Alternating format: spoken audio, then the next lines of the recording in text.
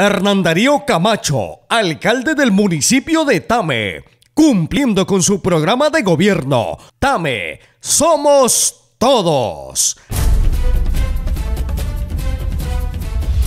y la Unidad Nacional de Gestión del Riesgo y Desastre inspeccionaron los sitios críticos del río Arauca en el municipio de Arauquita.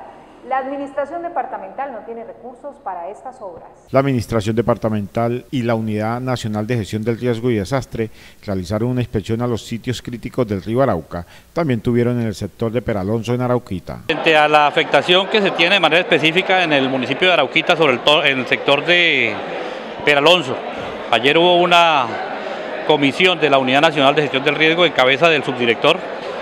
Eh, viajaron allí, se reunieron con la comunidad, estuvieron verificando la obra de la defensa longitudinal que se está desarrollando en el barrio San Martín de Arauquita.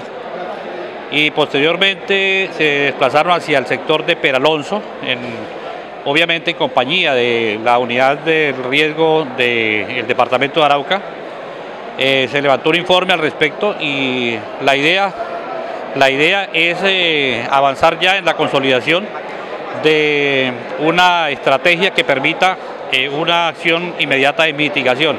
Luego que regresaron del municipio de Arauquita, el subdirector de la Unidad Nacional de Gestión del Riesgo se reunió con el gobernador de Arauca. El gobernador se reunió con el director nacional de la gestión, el subdirector de la gestión del riesgo y pues eh, mm, recibió en detalle el informe de la visita que se realizó y los compromisos que se hicieron para eh, la próxima semana tener ya eh, una idea de la estrategia que se va a implementar para darle solución a esta problemática del municipio de Arauquita. Según el secretario de Gobierno Departamental, la gobernación de Arauca no cuenta con recursos para estas inversiones. A ver, hay claridad en el sentido que el departamento en este momento no cuenta con recursos y el municipio pues obviamente tampoco tiene eh, la posibilidad de invertir.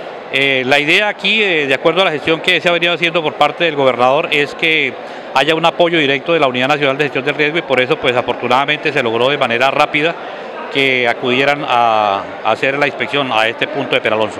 El funcionario dijo que no se puede dar cifras de la inversión que se necesita. La verdad eh, sería irresponsable dar una cifra en ese momento, pero es una cifra muy de varios miles de millones de pesos para poder llevar a cabo una obra de mitigación mientras eh, se establecen los estudios eh, técnicos, eh, batimétricos, hidrológicos, para poder desarrollar una obra ya definitiva.